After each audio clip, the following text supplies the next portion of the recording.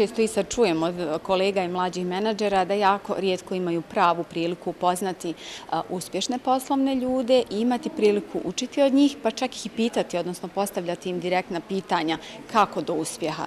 Mi u Bosni i Hercegovini zaista jako puno imamo tih skrivenih heroja, odnosno uspješnih poslovnih priča, koje nimaju toliku medijsku pažnju ili popularizaciju. Ovaj projekat i Biznis Cafe nema apsolutno nikakav komercijalni karakter, isključivo je edukativni za mlade menadžere i poduzetnike i naravno motivacijski.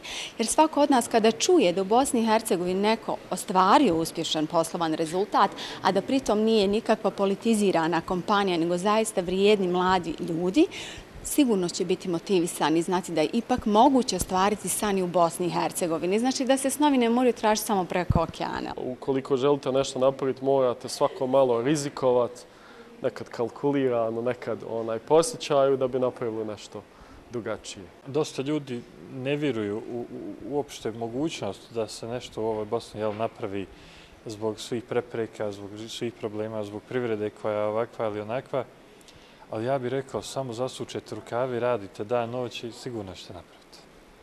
Jeste li imali nekih problema na početku ovaj, kada ste počeli zapravo da se bavite time čime se sada bavite? Imali smo puno problema. Koji su bio problem nekako najveći?